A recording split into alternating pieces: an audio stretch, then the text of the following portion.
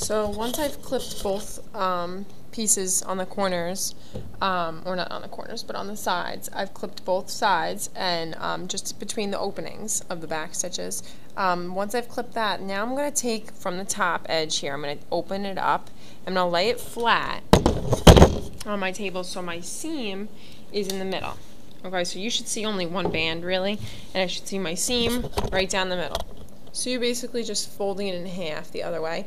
So on the other side, I have another seam down the middle. Um, and you should see your little piece here that you clipped. Now, when you open it up, the piece should lie flat. So once I open up that piece that I clipped, I should be able to lie it flat.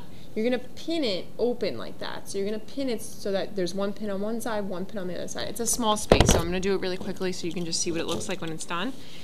And then the next step is to actually sew that. And you only want to pin it to itself. So you don't want to pin it um, uh, to the piece underneath. So I've, I've just pinned this one like that, but I, I lifted it up so that I'm not pinning it to the, this piece down here. So I'm going to do that for both sides.